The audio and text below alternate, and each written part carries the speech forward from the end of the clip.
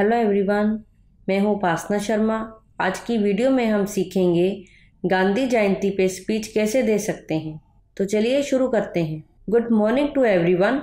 Today we celebrate the birth anniversary of Mahatma Gandhi. The father of our nation.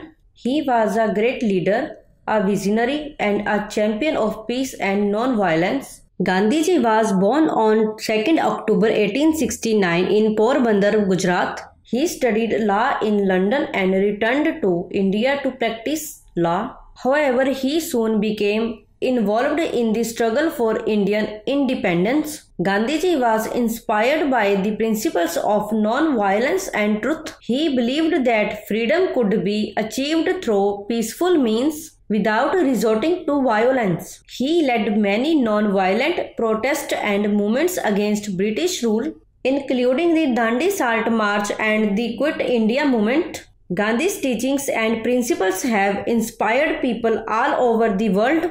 He showed us that it is possible to achieve great things through non-violence and peaceful means. He also taught us the importance of equality, justice and compassion for all. On this Gandhi Jayanti, let us all recommit ourselves to following Gandhi's ideals. Let us strive to build a more peaceful, justice and equitable world for all. Here are some specific things that we can do honor Gandhi's legacy. Practice non-violence in our everyday lives. This means resolving conflicts peacefully without resorting to violence or aggression. Stand up for what is right even when it is difficult.